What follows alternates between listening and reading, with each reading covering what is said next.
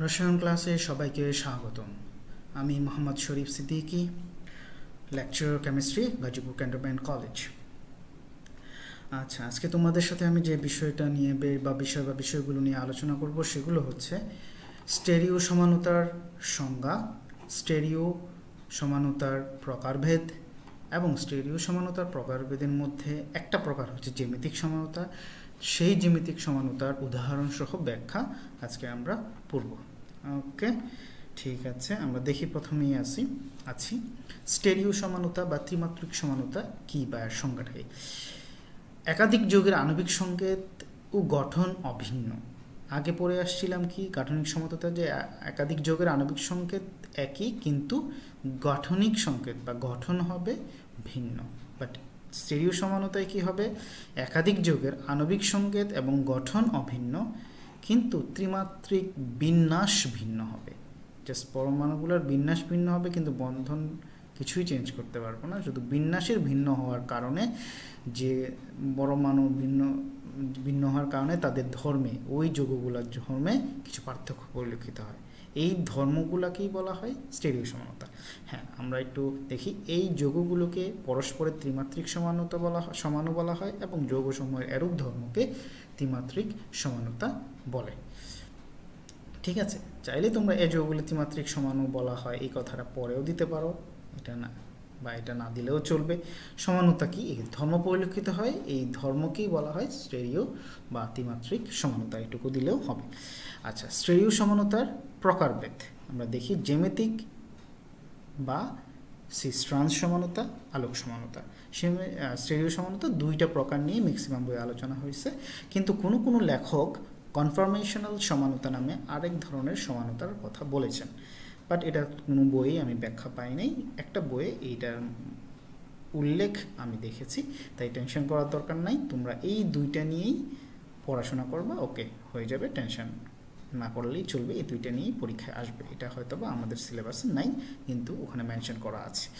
তাহলে আমরা স্টেরিও সমানতা দুই প্রকার জেমেতিক বা সিস্ট্রান্স সমানতা আলোক সমানতা ঠিক আছে?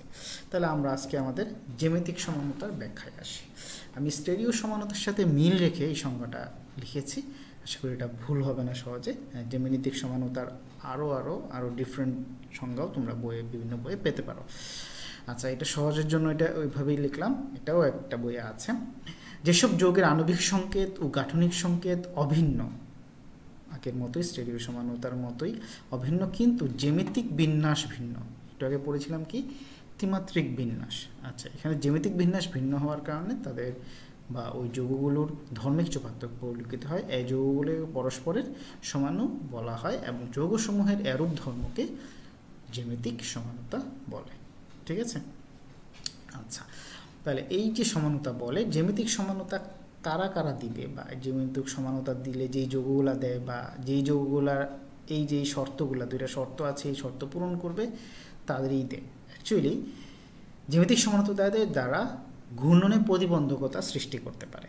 শর্টকাট কথা হ্যাঁ আমরা ব্যাখ্যায় পরে পাচ যাব ডিটেলস আচ্ছা তুমি জাস্ট পয়েন্টগুলো জেনে রাখো। প্রতিস্থাপিত অ্যালকিন দেখো, দ্বিবন্ধন কার্বন কার্বন আছে, এরকম জায়গায় প্রতিস্থাপিত অ্যালকিন জ্যামিতা জ্যামিতিক সমানতা প্রদর্শন করবে, এবং যেখানে A not equal to B not equal to D মানে এখানে আমি যতগুলা মেনশন করেছি, সেগুলা কোনোটাই সেম হবে না।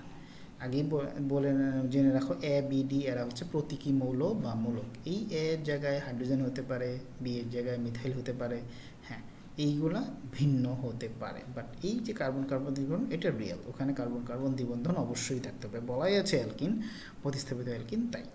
আচ্ছা কিছু চাকরিক যৌগ জৈব জ্যামিতিক সমানতা প্রদর্শন করে। চাকরিক যৌগ মানে মূল কথা হচ্ছে যারা বন্ধনে প্রতিবন্ধকতা সৃষ্টি করতে পারে বা ঘূর্ণনে সরি বন্ধনে না, ঘূর্ণনে প্রতিবন্ধকতা সৃষ্টি করতে পারে, তারাই জ্যামিতিক সমানতা দেয়। আচ্ছা একটা দেখো, জ্যামিতিক সমানতা পড়ার সময় আমরা দেখছি জ্যামিতিক সমানতা বা সিস্ট্রান সমানতা হ্যাঁ। এখানে দুইটা ভাগ আছে, সিজ সমানু এবং ট্রান্স সমানু দেয় সিজ সমানতা বলা যাবে না, কারণ এরা এক একটা সমানও কিন্তু সিস্ট্রান্স একে অন্যের সমান, তাই এটাকে আলাদাভাবে একটা সমানও, এটাও একটা সমান। সিজ সমান।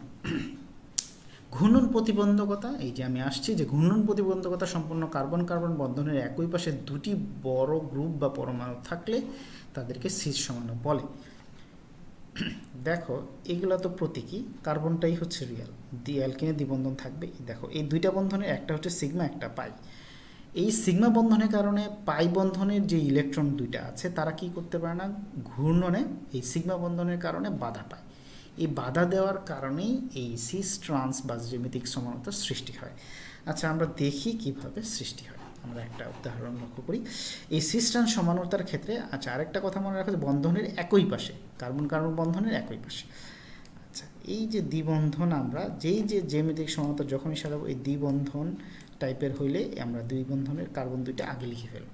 হ্যাঁ এগুলো এ বি কিন্তু অনেক বড় বা ভিন্ন হতে পারে।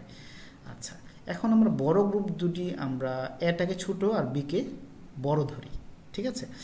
এটাকে ছোট আর বিকে বড় ধরলে ধরো এটাকে ছোট, আমরা এইভাবে দিলাম।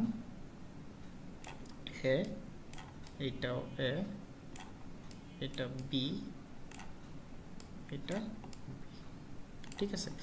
এই যে এ দুইটা, আমরা বড় গ্রুপ যদি বড় গ্রুপটাকে ধরলাম বিকে বড় গ্রুপ ধরলাম। বড় গ্রুপ বি দুইটা কিন্তু কি? একই পাশে না?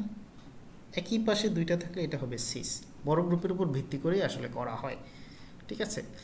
আর যদি এটা হচ্ছে শীর্ষ বানান ঠিক আছে?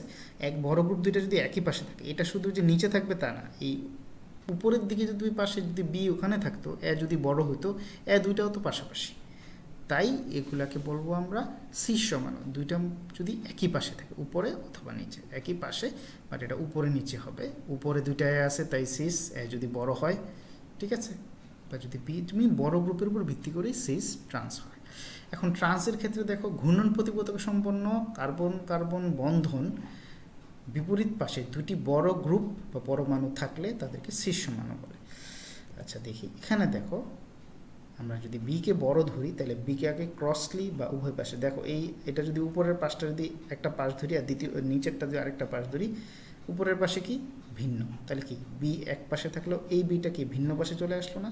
এই বলা আছে। ঘূর্ণন প্রতিবোধক সম্পন্ন কার্বন কার্বন বন্ধনের বিপরীত পাশে দুটি বড় গ্রুপ বা পরমাণু থাকলে তাদেরকে সিজ সমানু বলে। সরি এটা হবে ট্রান্স সমানু বলে। ঠিক আছে? তাদেরকে এটা সরি এটা হবে ট্রান্স এটা হবে ট্রান্স ট্রান্স সমানো, এটা হবে ট্রান্স সমানো, ঠিক আছে?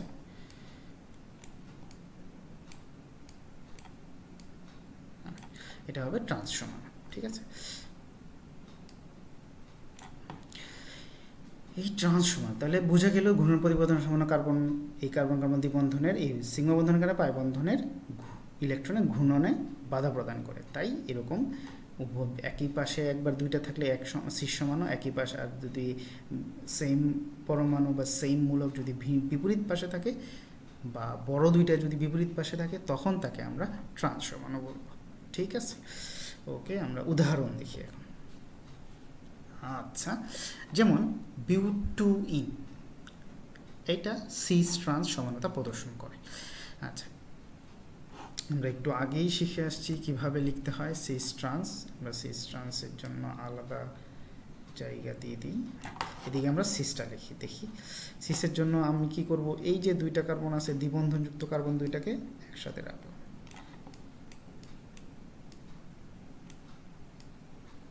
ঠিক আছে?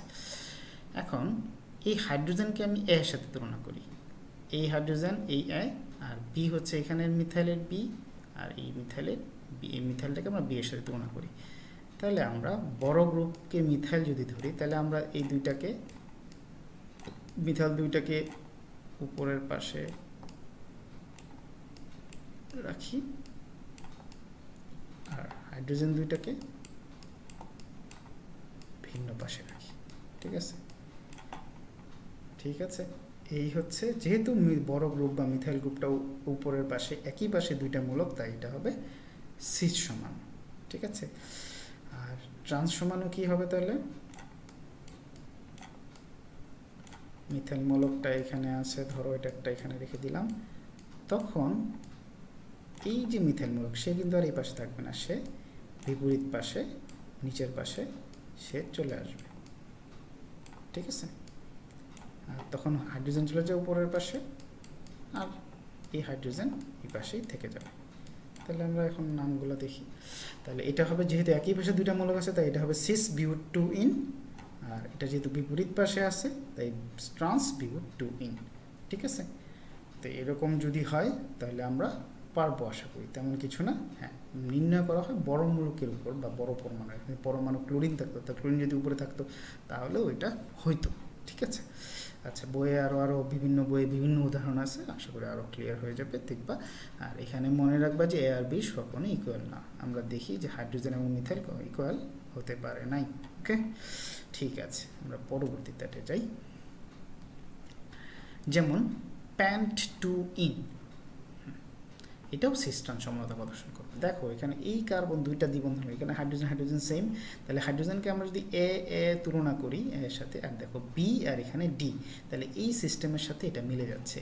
বি হচ্ছে এখানে মিথাইলমূলক আর ডি হচ্ছে এখানে ই পুরা ethyl CH two CH three পুরা ইথাইলমূলক তাহলে এটার যদি আমরা সিস ট্রান্স লিখতে যাই, তাহলে কীভাবে হবে? আমরা দেখি একটু।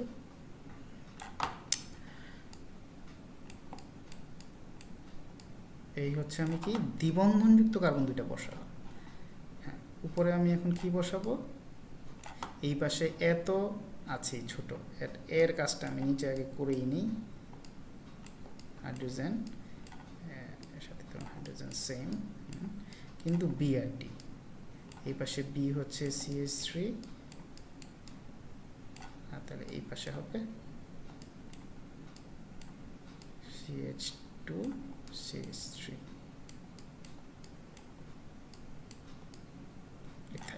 ঠিক আছে? এটা হবে সি স্প্যান্ট টু ইন তাহলে ট্রান্সপ্যান্ট টু ইন কি হবে? কি কাজ? তুমি চাইলে এটাকে সংক্ষেপে সি টু এইচ পাইব লিখতে পারো। ঠিক আছে একটু দিই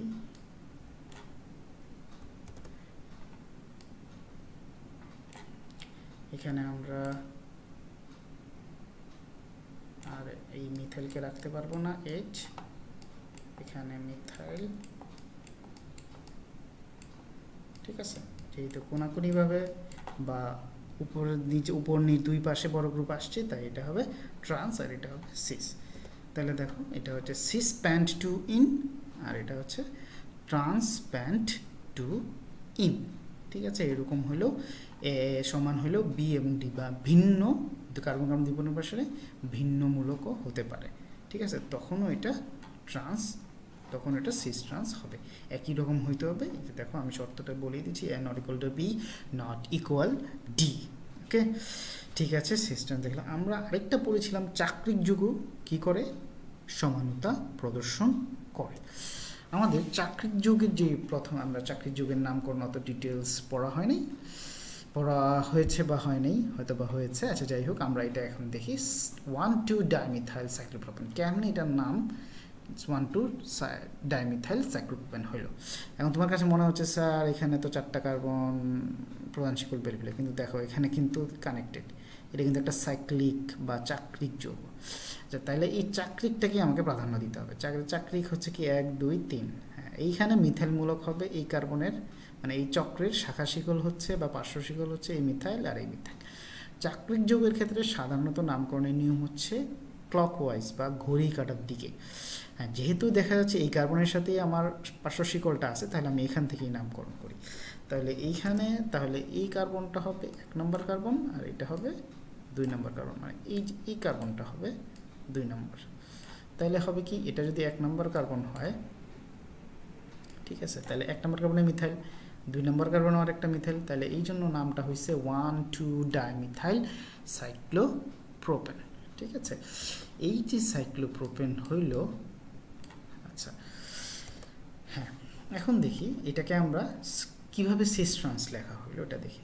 এটা কিন্তু আর দ্বিবন্ধনের সাথে একটু ব্যতিক্রম। এখন যেখানে শাখা শিকল আছে মানে ভিন্নতা আছে, এখানে একটা সি থ্রি এখানে এইচ এই ভিন্নতা এই দুইটা কার্বনকে আমরা সিস ট্রান্স দেখানোর ক্ষেত্রে সুবিধা হবে। আমরা এই দুইটা কার্বনকে আগে লিখলাম, আমরা এখানে আগে লিখে ফেলছি আমি। হ্যাঁ এই যে দুইটা এবার এই সিএইচ টু তো, এই যে এই সিএইচ টু তারও দেখো, এই হাইড্রোজেনকে আমরা এক পাশে রাখলাম মিথাইলকে এক পাশে। এই হাইড্রোজেনটাকে একটু হাতটা জাস্ট হাতটা বন্ধনটা, গঠনটা আলাদা করে দেখাইলাম সিএইচ থ্রি এই সিএস থ্রি সিএস থ্রি একই পাশে বা নিচের পাশে থাকার কারণে এটা হবে সিস এবং এই একই যৌগ, এই সিএস থ্রিটা কোনাকুনিভাবে বা উপর পাশ এবং নিচের পাশ মানে বিপরীত পাশে থাকার কারণে এটা হবে ট্রান্স। তাহলে এটার নাম হবে cis one two dimethyl cyclopropane এবং এটার নাম হবে trans one two dimethyl cyclopropane আবারও দেখো, এটা হচ্ছে ওয়ান টু ডাইমিথাইল সাইক্লোপ্রোপেন এটার এই যে এখানে যেহেতু এই কার্বনের সাথে হাইড্রোজেন লেগে আছে এবং এই কার্বনের সাথে এই মিথাইলও লেগে আছে? তাহলে ভিন্ন মূলক বা পরমাণু আছে এখানে। তাই এই দুইটা দিয়ে আমরা কি করতে পারব? সিস ট্রান্স দেখাইতে পারব। একই পাশে মিথাইল মূলক থাকার কারণে cis one two dimethyl cyclopropane বিপরীত পাশে মিথাইল মূলক বা কোনোভাবে থাকার কারণে সেটা হবে trans one two dimethyl cyclopropane ঠিক আছে, আশা করি এগুলা বুঝে আরও বইয়ে আরও আরও উদাহরণ থাকতে পারে। দেখে আশা করি বুঝে ফেলব। ওকে, ঠিক আছে, আমাদের ক্লাস আজকের মতো এখানেই শেষ।